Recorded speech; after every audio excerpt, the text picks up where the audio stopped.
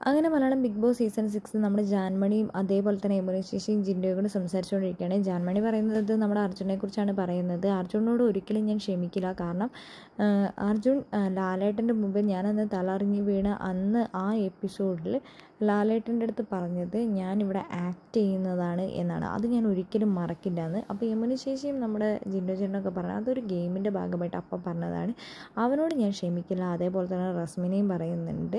എന്റെ മനസ്സിൽ അവരുടെ അവരുടെ അടുത്ത് ഞാനൊരു പോയിസൺ ആയിരിക്കും ഞാനൊരു പോയിസൺ ആയിരിക്കും അവരുടെ ഇടയിൽ നിന്ന് പറയുന്നുണ്ട്. അതൊരിക്കലും ഞാൻ മറക്കില്ല. ഇവ ഈ ഗെയിം ഇവിടെ അവസാനിച്ചു. ഇനി പുറത്താണ് ഗെയിം നടക്കാൻ പോകുന്നതെന്നാണ് ജാൻമണി പറയുന്നത്. ഞാൻ അതെന്താണെങ്കിലും ഒരിക്കലും ക്ഷമിക്കുകയില്ല അവരോട് പൊറുക്കുകയില്ല.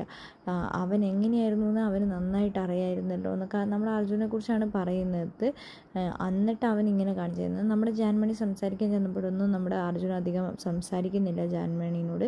അപ്പോൾ തന്നെ ജാൻമണി നമ്മുടെ ശ്രീധുവിനോട് പറഞ്ഞു കൊടുക്കുന്നുണ്ടായിരുന്നു. ഇങ്ങനെ രാത്രി ലൈറ്റ് ഓഫ് ആക്കിയതിന് ശേഷം കിടന്നുറങ്ങണം എന്നൊക്കെ പറയുന്നുണ്ട്. അർജുനെ കുറ്റപ്പെടുത്തി തന്നെ കുറേ കാര്യങ്ങൾ പറയുന്നുണ്ട്. മൂന്ന് പേരാണ് എന്റെ മനസ്സിലുള്ളത്. അവരോട് ഞാൻ ഒരിക്കലും ക്ഷമിക്കില്ല. ഈ ഗെയിം കഴിഞ്ഞാലും ക്ഷമിക്കില്ല.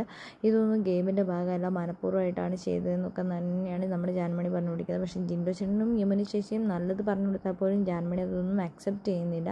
അവരോടുള്ള ദേഷ്യം മാത്രമേ മനസ്സിലുള്ളൂ എന്നാണ് പറയുന്നത്.